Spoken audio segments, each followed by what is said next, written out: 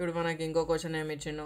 If A equals to X such that X belongs to and X less than five ఇట్లా మనకి such that ఇట్లా set symbol ఇస్తే ఏంది ఇది? ఏ యూనిట్లకైనా sets యూనిట్లకైనా వచ్చింది అనుకుంటాం కదా. ఇక్కడ మనకు రెండు ఫామ్స్ ఇచ్చిండు. ఏమేమి ఇచ్చిండో అది రాద్దాం. తర్వాత ఏమన్నా draw the Venn diagram for A union B అన్న. ఫస్ట్ ఇచ్చింది రాసుకుందాం.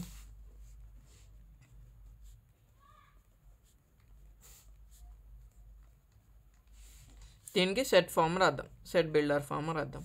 ఎక్స్ బిలాంగ్స్ టు ఎన్ అన్నాడు. అంటే ఏంది? Natural numbers natural number starts with one two three four five and X less than five అన్నాడు. సో వన్ నుంచి start అయ్యి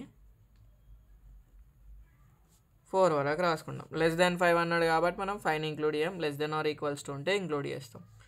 Same B is equals to X such that X belongs to N two less than X less than seven అంటే ఏమన్నాడు ఈ X అనేది టూకి సెవెన్కి మధ్యలో ఉంటుంది అన్నాడు so B equals to two తర్వాత సెవెన్ ముందు రాసుకుంటాం. రాసేసినాం అయిపోయింది. దాని తర్వాత ఏం చేయాలి? ఏ యూనియన్ బి కదా.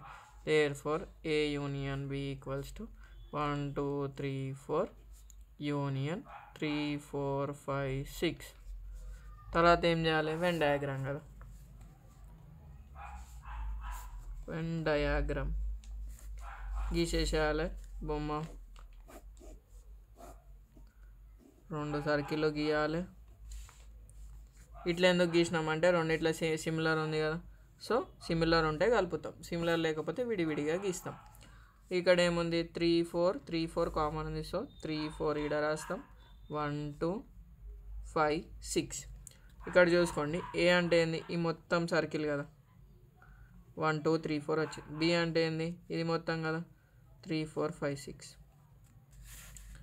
A union B find out చేయమన్నాడు కదా ఆ ఏరియాని మనం షేడ్ చేయాలి. సో ఇట్లా.